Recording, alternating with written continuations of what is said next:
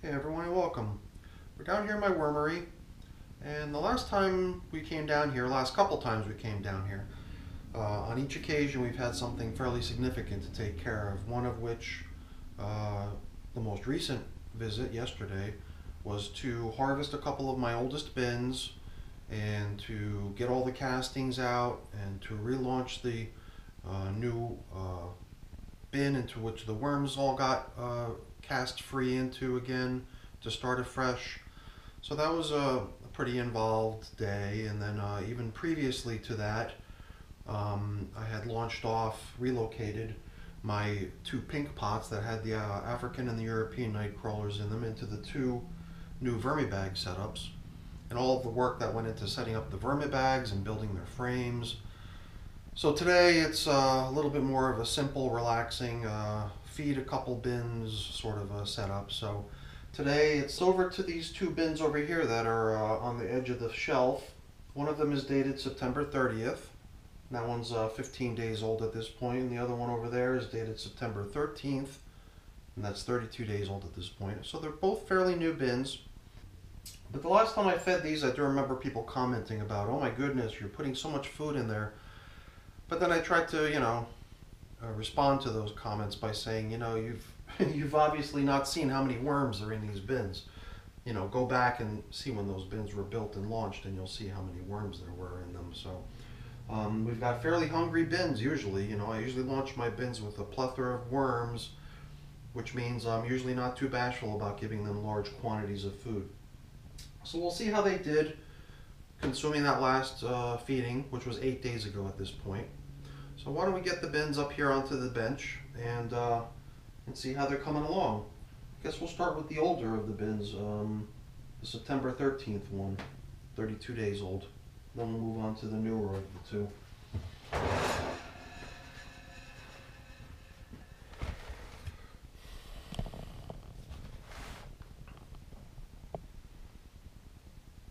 The feeding that I've got for today consists of your basic kitchen scraps, um, all different types of cuttings from the kitchen, cucumbers, carrots, cabbage, you name it. Let's dig into this bin and see how things look.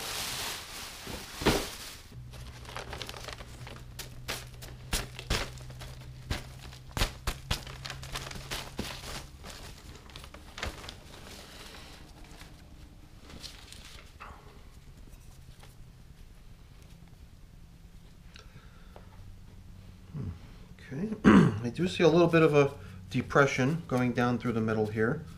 And the coffee filter that we saw here a moment ago was just an indicator of where the last feeding occurred, which was right down the middle. As we start peeling the material back, what we see beneath is fairly nice looking um, rich, dark colored castings. The whole bin has a nice, fresh, earthy smell to it. I can't recall exactly what kind of food we fed to these guys last time. So I guess we'll see as we start to dig down um, whether or not they've depleted it all and if they've left any behind we might be able to tell what it was they got last time. So let's see what we can see as we peel back what's covering the feeding zone. This is just maybe a chunk of coffee. Here's some bits of cardboard, bedding type materials. So far I'm not seeing too many signs of anything that might be food. Although this is kind of a stringy something, maybe a piece of celery or something. It's hard to tell. I am seeing a fair number of worms, that's for certain. This is just a little stick I'm breaking into smaller chunks in the hopes that it might eventually get broken down by the worms. I don't really see anything, which is kind of what I expected. I mean, I, uh, I already know from experience that I've got so many worms in my bins that I give them a, a good hearty feeding and a week later I typically don't expect to see much, if any, of the food I gave them previously. That is, of course, unless I've given them something that's kind of a slow composting type of a food item, which is expected to take a long time to break down, but I don't recall that being the case last time. Pretty sure what they would have received last time would have been mostly soft, easy to eat stuff. And I believe that that's kind of what we're seeing here. Um, this is one little fragment of food which I do believe I recognize. It looks like the um, looks like the stem of a banana peel, but as you can see, the banana peel itself is more or less gone, and even the stem itself is um, very soft and is already occupied on the inside by worms who are making a making a meal out of it. So I'm sure it won't last much longer. That to me appears to be the only um, recognizable piece of leftover food from the last feeding, which is pretty decent. Unless this might be another thing. Yeah. This is the only other thing I see that's recognizable, but it's just a paper thin sheet of uh, um, skin from the cantaloupe rind. It's got that distinct kind of weird outer surface to it. So that's a that's a pretty good job. Good job on these uh, on these foods that the worms have done away with for the most part. So I'm glad to see that. I'm just going to go ahead and uh, clear a little bit of a opening down here on the bottom so we can add a little bit more food. Um, down here, before we drop in the food, why don't we uh, just give it a handful, a little sprinkling of leaves, a little bit of a, sort of a bedding type material down below.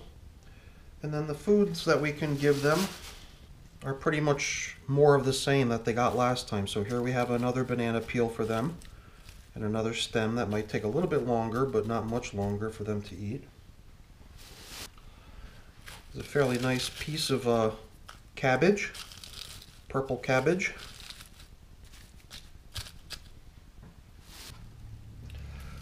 And here's some stuff that looks like it might have been the makings of a salad with some lettuce, cucumber, tomato, stuff like that. So that's a pretty decent assortment of foods for them. And another thing that I usually like to include in my feedings is uh, the coffee grounds. I've got a pretty good size amount of them here. Uh, I'll just go ahead and I'll give them half of what's in this container. It's a pretty generous amount. But I have a feeling that they're going to do pretty good eating it up. And it does seem like um, a generous portion of grit with each feeding also seems to encourage um, quick consumption of the food too. So I'm becoming much more of a generous uh, feeder of grit, eggshell grit, to go along with the food because um, it does really seem to help with the breakdown of the food. So I think we did a, I think we did pretty good here, giving these guys a nice generous feeding. And it did seem like it was due because I didn't see much left from the previous feeding. So uh, yeah, you know, if you're uh, if you're watching my feedings and you're thinking I might be going a little bit overboard on what I give them, um, this is evidence to show that these worms can handle it. They can definitely dig into what they're being given and and uh, and devour it pretty quickly. So the uncomposted leaves that you normally see on the tops of my newer containers are usually there for me to see how things are progressing. I kind of use the leaf or the remnants of what was a thorough covering of leaves from the beginning as just an overall indication of how things are progressing in the bin. And I mean, for a one month old bin, 32 days old, this bin's really coming along kind of nice, I must say. So let's get things restored to the way we found them before we got here. I'm just going to try to clean off some of this leaf matter that's stuck to the newspaper. And we'll just put the marker back here to indicate that the feeding was right down the middle, as it usually is in my newer bins. It's only on my older bins that I usually start to get into the horizontal feeding patterns. Okay, the September 13th bin is fed. Let's get the other one. So, yeah, this is the September 30th bin. This is the one that's only 15 days old at this point.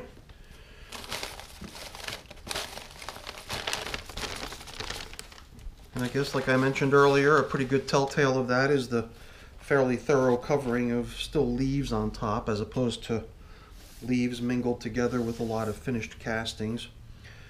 Um, guess we got some little bits of growth occurring here within the bin, which is pretty normal. You'll often see that happening. So we're going to try to push all these leaves off to the side so we can use them at the end to restore the cover over the top, the way I like to do. Sometimes in my small, smaller bins, I'll simply take this leaf cover and pull it out just so that I can, you know, do the business of feeding the bin uh, without being obstructed by the leaves. You can already see a pretty good jumble of worms hanging out right here beneath the surface. So let's start pushing back here. I'm not sure what was going on right here, but we've really got a lot of worms happening here. I can't remember if it's only because we might have launched this bin with a huge number of worms, which is possible.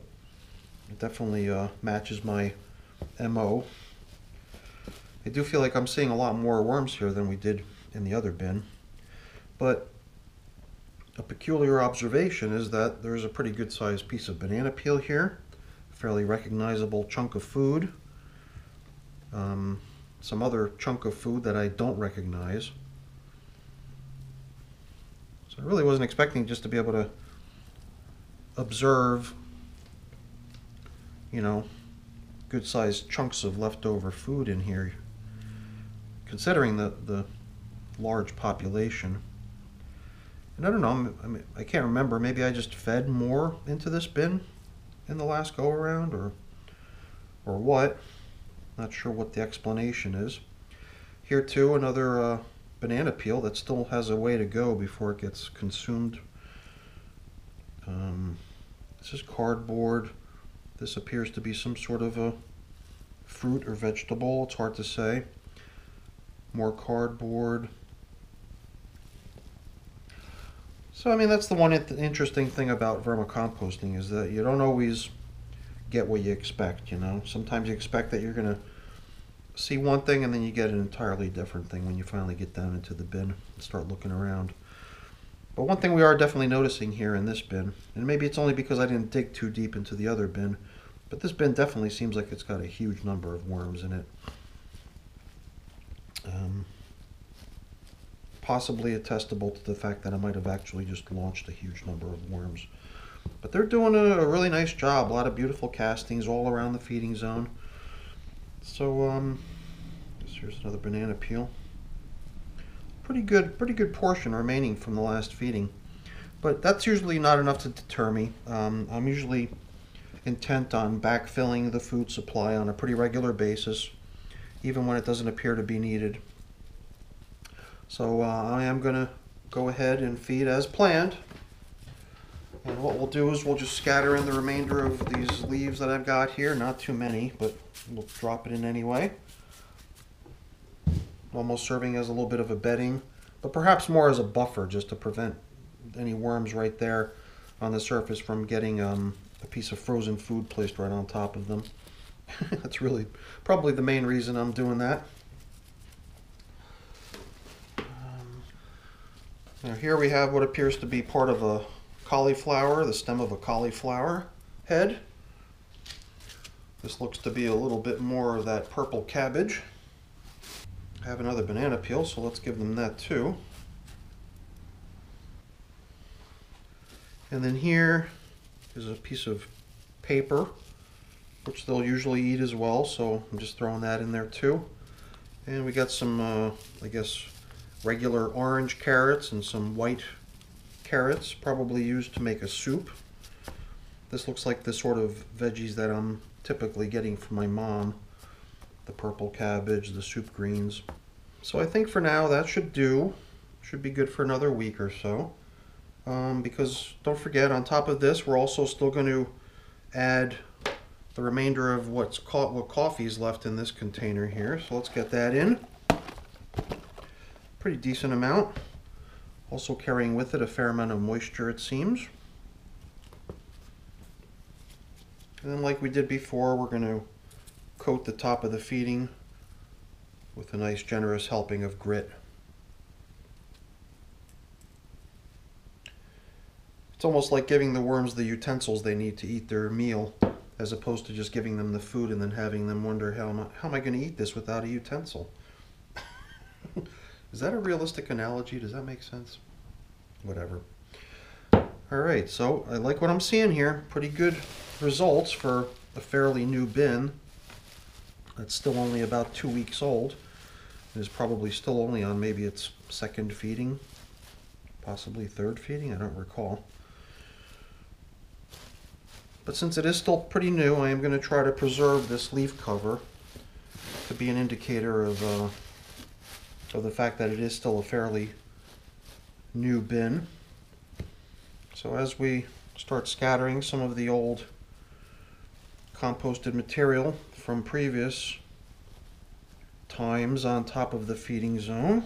I'm going to try to leave the fresh leaves off on the sides to leave those for last so we can scatter those over the top of the entire setup.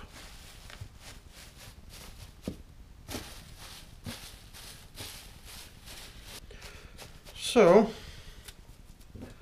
that's, it for today. There really isn't a whole lot to be done.